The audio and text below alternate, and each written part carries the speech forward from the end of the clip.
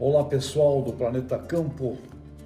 Nós tivemos a semana passada o Fórum Internacional da Agropecuária no Mato Grosso, em Cuiabá, com a presença de lideranças, 32 apresentações de líderes brasileiros, internacionais, onde foram debatidos temas cruciais para o agronegócio brasileiro. Eu tive ao lado da TECA, como embaixadora, eu como embaixador, a missão de redigirmos a carta do Fórum Internacional da Agropecuária. Esta carta foi entregue pelo Júlio Carnino e pela Jaque ao ministro da Agricultura, o Fávaro, que participou praticamente de todo o evento e no final lá estava ele para receber esta carta que foi entregue nas suas mãos com o objetivo de apoiar e levar a conclusão do Fórum Internacional da Agropecuária, uma iniciativa do Canal Rural, ao ministro que participou da G20, do G20 Agro, a reunião de 20 ministros da Agricultura, o que eu considero um fato e um feito extraordinário para podermos avançar, caminhar numa visão evolutiva da gestão do agronegócio com as grandes preocupações da humanidade.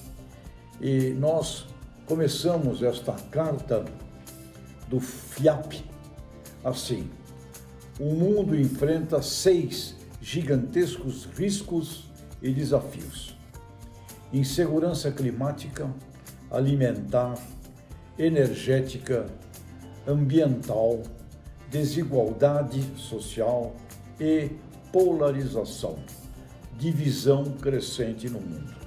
E abrimos colocando o desejo do Dr. Ray Goldberg, o criador do conceito de agronegócio, que criou esta visão sistêmica que nós chamamos de agronegócio, agrobusiness, em 1955. E eu conversei com o Dr. Ray Goldberg e ele me disse que a mensagem que ele manda para os líderes do agronegócio do mundo hoje é reunir o mundo em um só através do sistema agroalimentar. Dr. Ray Goldberg, com quase 97 anos de idade, fala da sua preocupação da polarização e da divisão, e que no caso do alimento, que é a única coisa que reúne indubitavelmente todos os seres humanos, que o sistema agroalimentar precisa ser tratado pelas lideranças para unir o mundo e lutarmos contra a divisão e a polarização. Então, a segurança alimentar é a única garantia de estabilidade social e política para um país. A carta apresenta ângulos que o próprio ministro Fávoro apresentou, como, por exemplo, o país abrindo 184 novos mercados e que para esse futuro, dizia o ministro Fávoro, é preciso contar com a iniciativa privada e financiamentos internacionais, inclusive para a transformação de áreas de pastagens degradadas em cultivos agroambientais sustentáveis.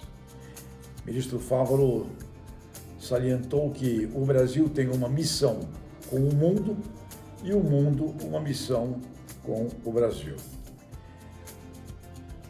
Políticas públicas como o Plano ABC, que incentiva a agricultura de baixo carbono, e LPF.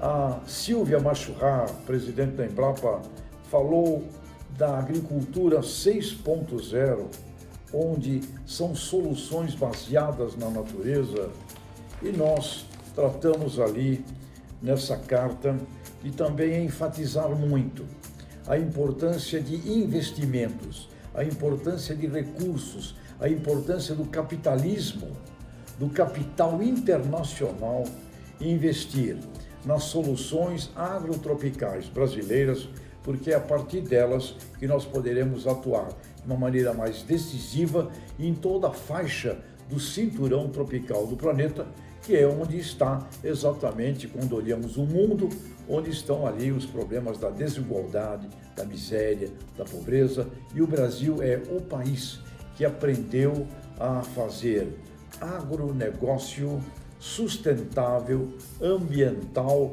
nas condições tropicais do planeta Terra.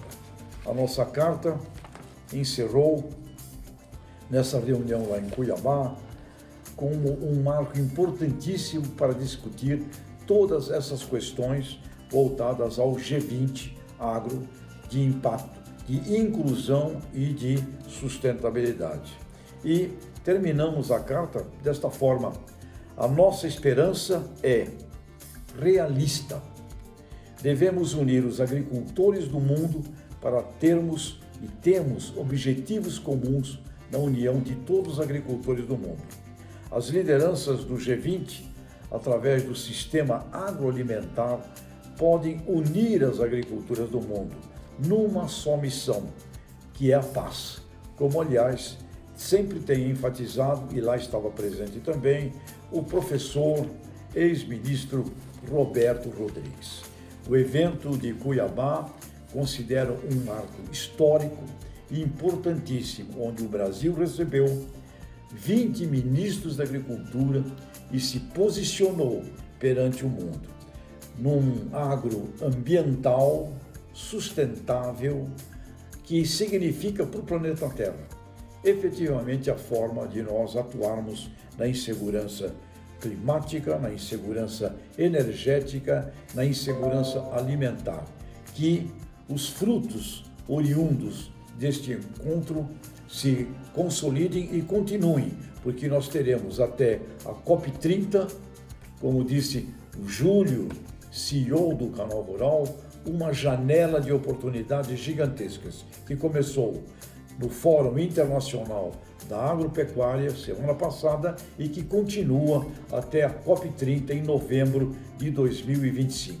E estamos juntos e foi realmente muito belo este evento. Eu disse até que foi um intensivo de um doutorado do agronegócio espetacular. E a carta do FIAP está na mão do nosso ministro. Até a próxima! Planeta Campo. Patrocínio. JBS. Há 70 anos alimentando o que alimenta o mundo. UPL Reimaginando a Sustentabilidade. Apoio. SLC Agrícola. Produzindo com eficiência e sustentabilidade. Infinity Gestão de Resíduos. Associação Brasileira dos Criadores de Zebu. A BCZ de todos. Campo Forte. Nosso forte é fazer você produzir mais.